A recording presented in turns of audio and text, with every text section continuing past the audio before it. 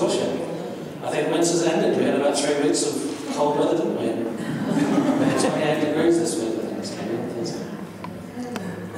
Our call to worship comes this morning from Psalm 111.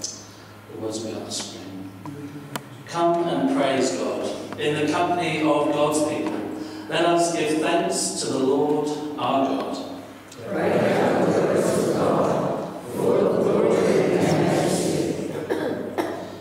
Our God is gracious and compassionate. Our God is faithful and trustworthy. So come, let us worship God together. God's praise will last Amen. In our opening hymn this morning, we are reminded of God's greatness in all things, and even as we develop and change, God's love stays the same with us, true forever. Let us join as we sing this.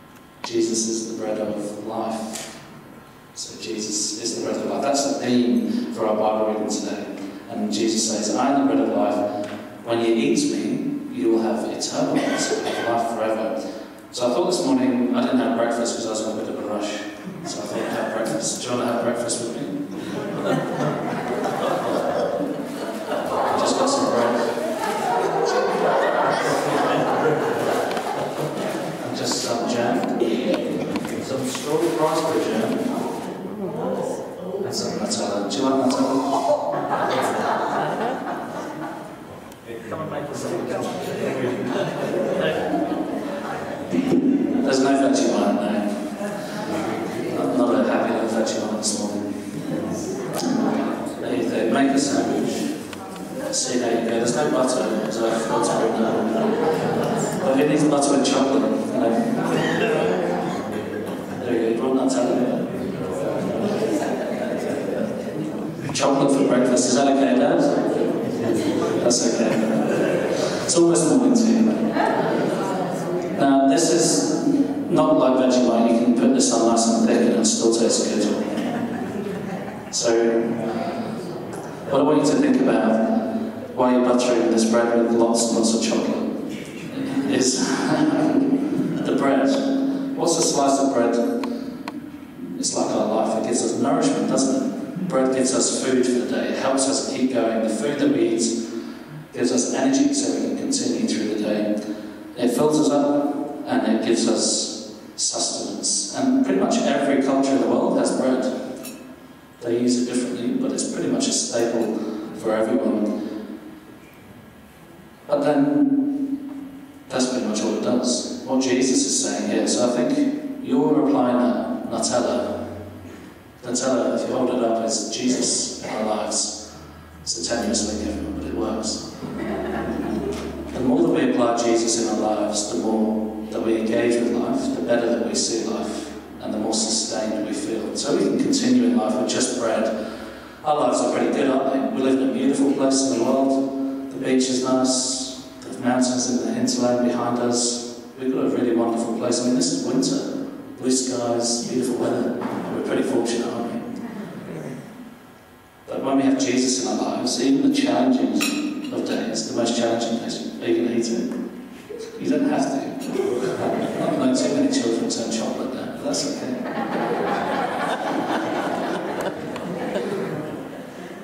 But sometimes you don't have to eat it if you don't want to. But sometimes in life, bread is pretty good. Even though I love bread, it can be pretty boring. Can't it? On its own, it's pretty meh. It's not much, not much of anything. But when we put a different topping on it, it becomes a bit more interesting, a bit more exciting, a bit more delicious. So I think that's what Jesus wants to do with our lives. We can have life and just live it every day. It's okay. Life's good. We can have good friends. We can do good things. Not all people who do good things are Christians, but when we have Jesus in our lives, He makes it all that much better. He gives us life in all its fullness. So when we spread Jesus on our lives, like we spread that Nutella there, we can engage with all people in the world in a way which is more fruitful and more hopeful. So sustaining for our bodies, bread is, but for our souls, we need Jesus in all that we do. So as you're eating that chocolate bread, I wonder if you can think of what is the way that you can nourish your soul with Jesus. We can pray, we can read our Bibles, we can come and worship and sing and praise God, we can spend time with our friends and other people who are Christians, we can build each other up. And then, because we've done that, we can get, grow closer to Jesus in our lives and we can give of ourselves to others, showing them how to be nourished. So it's not just about receiving, it's about giving that away as well. So thanks, Nathan. I'm sorry you're own again this week, but thank you for coming. We're grateful for you being here. Thanks, Dad, for offering that moral support. And if anyone gets hungry in the service, they can come and have a, have a sandwich. Um, and if, if you are going to go to Christian learning, as you go, enjoy your time. We're going to continue in our prayers as we come into a time of prayer of confession and assurance. Shall we pray? Gracious and merciful Lord, you have offered to us food for the journey. You remind us that your life will sustain us as we witness to your love. But sometimes we let those reminders slip from our consciousness. We wallow in our difficulty, make excuses, not living the kind of life that you would have us live. Treat others in ways that we might not want to be treated, ways that are not healthy or loving. Please forgive us, Lord. Stop us in our tracks and help us to examine the many ways in which you have not served, we have not served you. And Lord, make us aware of the callous things that we have done to others. Cleanse our spirits and our souls from those unrighteous acts and cause us to follow you more closely. Remind us again that you are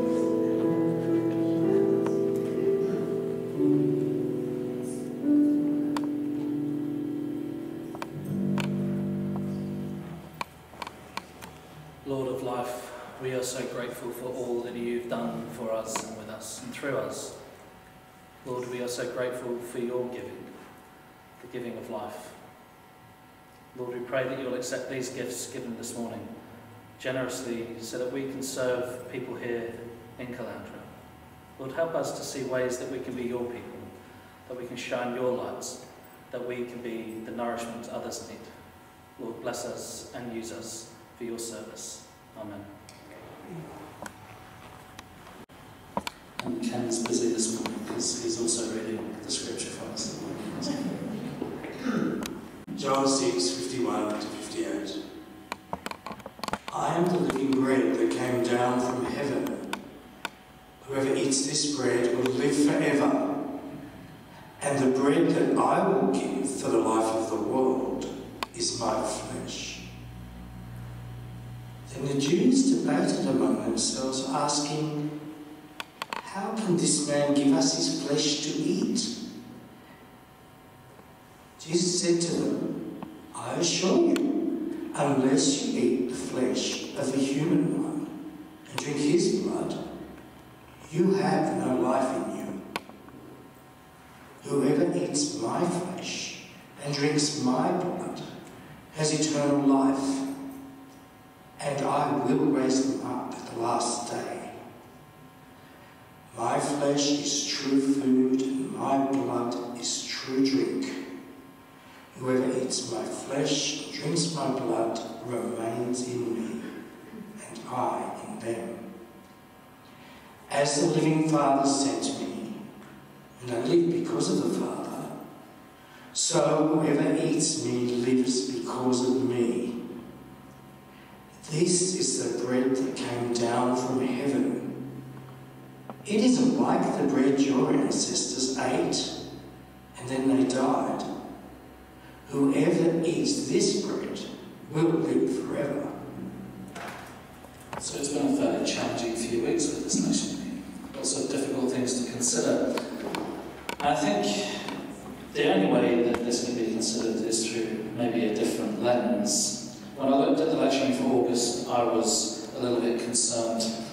How can I find enough of interest to be said for bread over so many weeks? Well, here we are, week four of five weeks series of a reading, walking through one single chapter in John. This means we're still discussing a deep connection that God desires to have and nourish us. Jesus miraculously feeds the crowd of 5,000, challenges them to move beyond the need for signs and for wonders, and stop and, and stop, sorry, step towards an even better and deeper trust in God. And then Jesus declares, I am the bread of life, offering wisdom, teachings that lead us to living a fully human life that is indeed well lived. And yes, this week we're still talking about bread.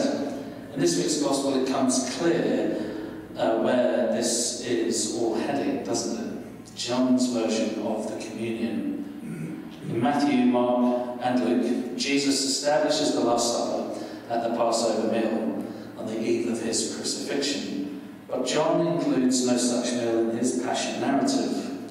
Here in John 6, though the Passover is near, this is the second Passover in John, not the third, and so we're pretty much in the middle of Jesus' ministry.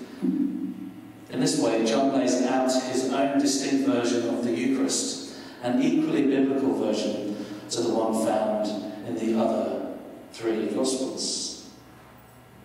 So, for the past three weeks, we've reflected on what's at stake for us in Jesus' challenging invitation to eat his flesh. We've explored the significance of gathering around God's abundant table and the profound hungers that only God can satisfy within us. What it means to carry the divine bread on life's unpredictable journeys. This week, I've been thinking about it from a different perspective, and I want to shift our focus, our perspective, to consider Jesus' invitation from a different angle. That is, what is at stake for God in this invitation? If Jesus is the bread of life? What is at stake? Well, what is it like for him to nurture us? How does a feeding, nourishing God experience our consuming the gift of life so freely given? And what does Jesus feel when we turn away from his nourishment, when we refuse to receive his gift of life-giving bread? While we can't know for sure, obviously, our experience is not that of God's. However, we can imagine when considering the witness of the Scripture and our own life experience, can, they can provide some insights. For me, one of the most resonant things um, that aligns itself is, is parenthood. And of course, as Indy grows up, our role has changed. She doesn't need us in the same way. However, as a father, I've spent the last 11 years reflecting on my role, along with Suzanne, as nurturer, provider, and sustainer for Indigo. It's a role that entwines our life with hers in a profound and complex way. Through the joys and the challenges and the surprises and the fears of parenting, I've come to wonder if our experiences reflect something of what God has in God's own heart. Whilst today we might try to utilise inclusive language, we are all too often used to the more masculine side of God. However, throughout the scriptures and the Christian traditions, we encounter images of God that resonate with the qualities of a nurturing mother. In Isaiah, God speaks of a longing that feels familiar, a mother's comfort for her child, so I will comfort you, it says. And again, using childbirth as a decipher, God says, I will cry out like a woman in labour. I will gasp and I will pant. The psalmist wrote of God birthing Israel from God's womb before the morning star. And in the Gospels, Jesus' laments over Jerusalem evokes a powerful image. How often have I desired to gather your children together as a hen gathers her brood under her wings? The ancients seem to be okay with the idea as God as mother. St. Augustine asked God, What am I but an infant suckling on your milk and feeding on you? The ancient theologian Ephraim of Syria wrote, He has given suck, life to all the universe. And the mystic sister Teresa of Avila exclaimed, Oh, my life of my life, sustenance that sustains me, for, for from those divine breasts where it seems God is always sustaining the soul, there flow streams of milk, bringing comfort to all people.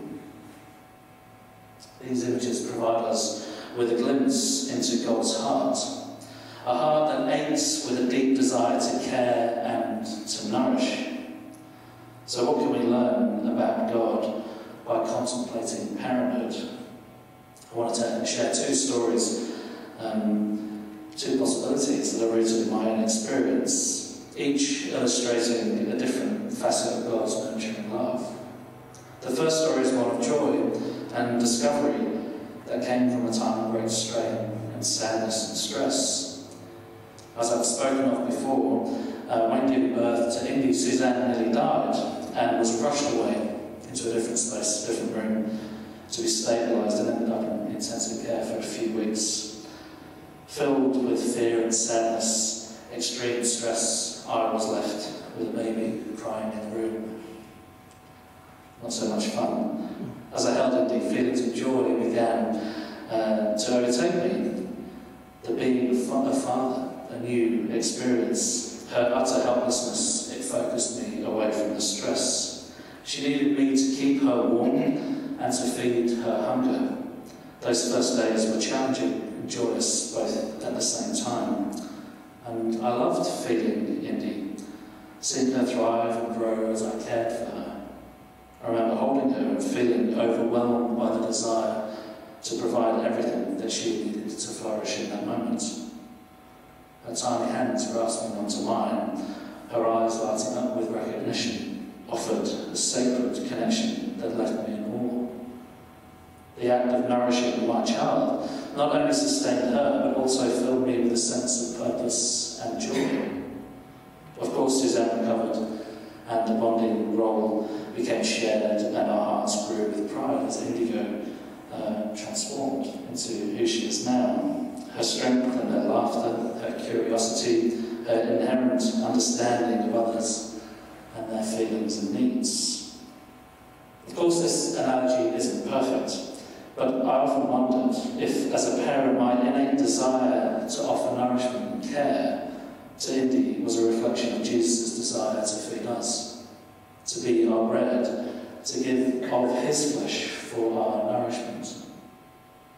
I feel joy when, when Indy leans into my care, when she takes in the sustenance from us. As parents, our wish is to see her grow, of course, and thrive. And I wonder if that is a mirror held up to what God has for his wish for us. Those who eat my flesh and drink my blood abide in me, and I in them, Jesus says in the Gospel reading this morning. I wonder what profound pleasure God takes in this intimate sharing together. The second story is one of struggle and heartache. Whilst I was clothing and feeding Indy in the first moments of her life, Suzanne wasn't able to. She was whisked away. She was so sick that for weeks she wasn't able to feed naturally. And when uh, well enough, Indy refused to feed. Suzanne panicked and seethed and grieved and begged. She was powerless and she was exhausted. She is Indy's mother, and she felt she was the one who should be nurturing and nourishing and feeding and protecting and sustaining her child. And yet, because of her near death experience bringing life into the world, the very basic elemental feeding was impossible. She wanted to provide as she had been for the nine months prior. And of course, over time, the reality was that she was feeding Indy not just with food, but with love and support that she needed for her whole life. That was realised. And in those moments, I recognised the weight of love, a parent's love that wishes only the best for their child. Experience fear will come, the longing and the suffering, and it feels like the depth of helplessness when you can't step in and do when faced with their struggles. I was reminded that Jesus calls for us to consume his flesh and drink his blood could be understood as a passionate plea from a parent who sees the life-giving nourishment we so desperately need and so often reject. His desire for us and our fullness is fraught with emotion, I'm sure, much like a father striving to protect and provide for their children. As we reflect on Jesus' invitation this week, I urge us to consider that his words might resonate with the urgent, tender longings of a parent. Unless you eat the flesh of the Son and drink the blood, he declares, you will have no life in you. Perhaps these challenging words are not harsh but filled with deep love and called to partake in the nourishment and sustenance of life. Jesus longs to gather us at his table, to share the bread of life with us, so that we may thrive and we may flourish. Whoever eats me will live because of me, he says. He is our bread, and the truth is fundamental to understanding who God is and who we are in God and who we are called to be through Christ. This week's Gospel readings offer us a perfect opportunity to explore the meaning of this communion meal. And in particular, consider it from the perspective of John. For John, the communion is experience of God's abundant care for us, physically, spiritually, and otherwise. Communion is a taste, it's a bite, a sip of how God is providing for us in many ways. Forms of nourishment that we can't uh, always understand, forms of hunger and thirst that we might not know. At the basic level, God gives us life, true life, abundant life. So much so, our life participants participates in God's life. We abide in God, and God abides in us. Or as Paul puts it in Acts 17, God, in God we live, move, and have our being. The communion meal, therefore, is experienced in the church, in the sanctuary, on the hillside, or even around the meal table, is an experience and cultivating this great mystery of God's love. In fact, this passage opens us up to the opportunity that Christians seldom get to celebrate or experience, but which is thoroughly biblical and is covenantal in the liturgy that we use each month. So I'm going to invite you to stand, uh, if you're able. If you could stand for me, that would be good. And we're going to share a time of communion that's slightly different to we would normally.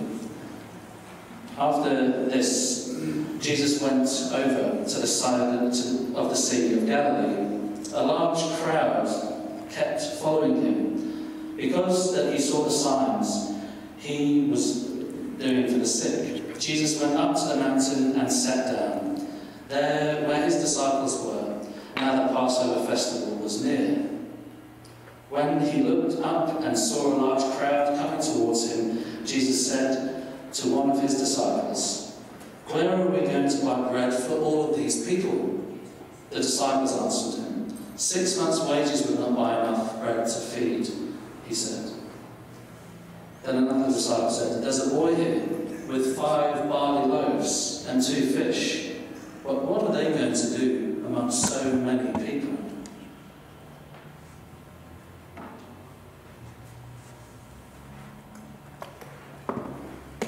Jesus said,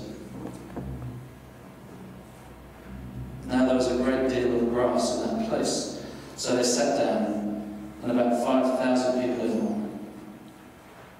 And Jesus took the loaves and the fish that he had been given, and he blessed them, and he distributed them to those who had been seated, as much as they wanted. And so I invite you to sit down and have as much as want. We are satisfied, he told the disciples. And they gathered up what was remaining. And there was 12 baskets filled with the food. So when you've received your food, I invite you to sit down and take a moment to think about what it means to be sustained. Doesn't matter that some are sitting, that some are still standing. I don't think 5,000 are fed within a moment. So take a moment of just silent reflection of what it means to be nourished, of what it means to be sustained, what the bread of life means for you, what the covenant covenant means for you.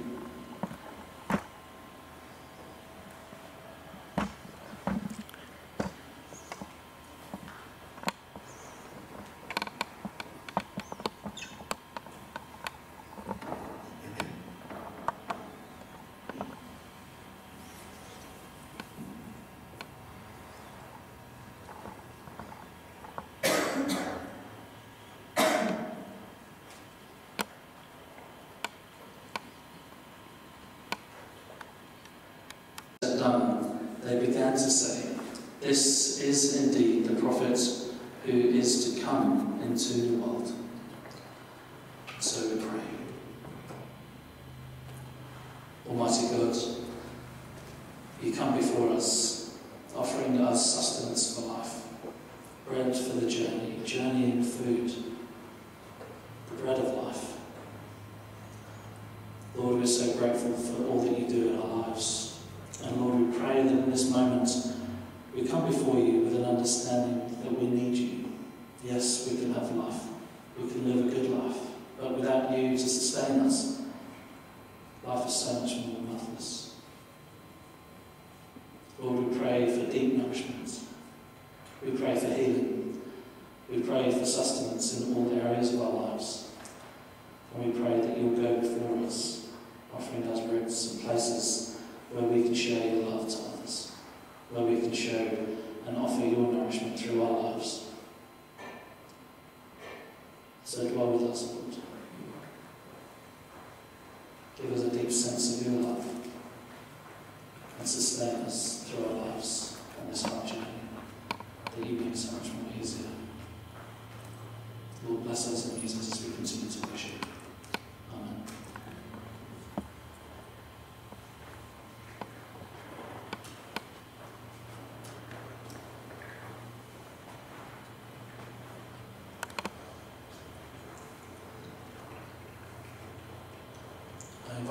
seated as we sing our next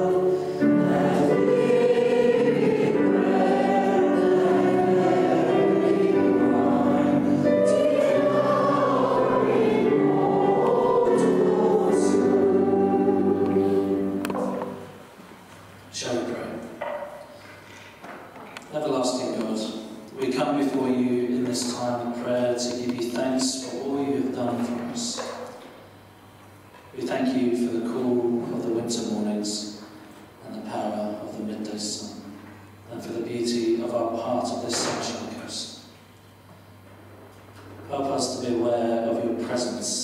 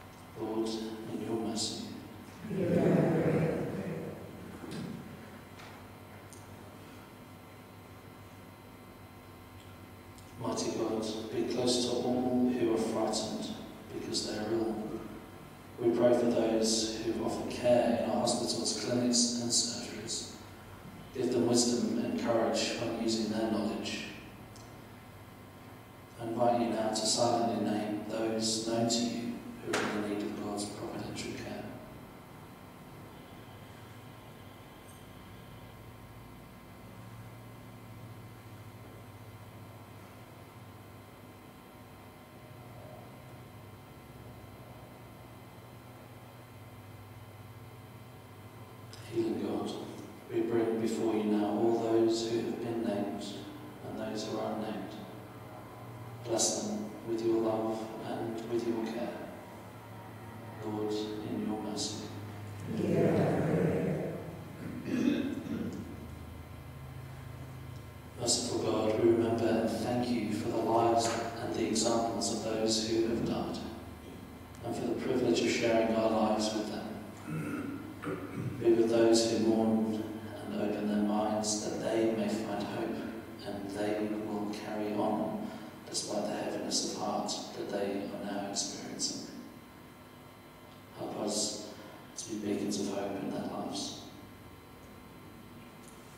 Lord, in your mercy. Heavenly God, thank you for helping us to pray. Deepen our understanding so that as daily we pray through this coming week, we may do it with love and sincerity in sure and certain knowledge of your abiding presence with us. Merciful One, accept these prayers for the sake of your Son and our Saviour, Jesus Christ. Amen.